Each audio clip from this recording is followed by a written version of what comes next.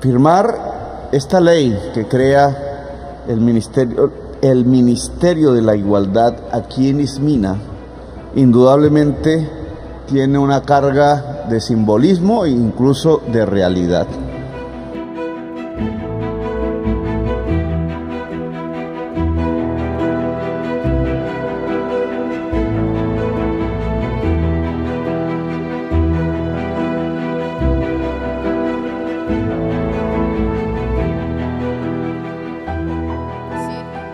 Pero aquí estamos como gobierno nacional. Y aquí está su vicepresidenta poniendo la cara. Poniendo la cara a Colombia, poniéndole la cara al Pacífico y diciendo una promesa de campaña que era crear una nueva institucionalidad que se preocupara por los de abajo, o como yo decía en campaña, por los nadies y las nadies de este país, nace en Colombia.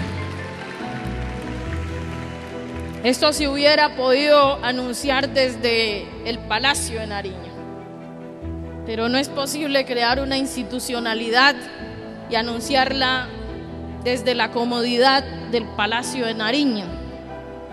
Había que anunciarlo desde acá, desde el territorio.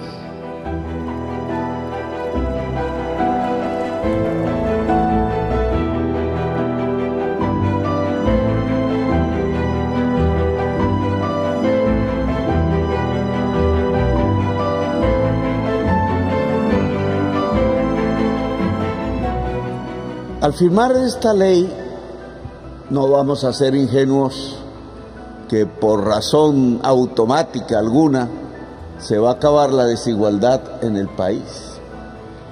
El ministerio lo que coloca es el problema de frente, lo hace visible. Uno de los países más desiguales de la tierra nunca ha tenido en realidad, con muy contadas excepciones en el tiempo, políticas para disminuir la igualdad, la desigualdad. Políticas para aumentar la igualdad. Hemos encontrado algunas relativamente exitosas políticas para superar la pobreza, pero no es lo mismo. Desigualdad es un problema mucho más complejo que superar la pobreza que ya de por sí es difícil. Gracias por ver el video hasta el final.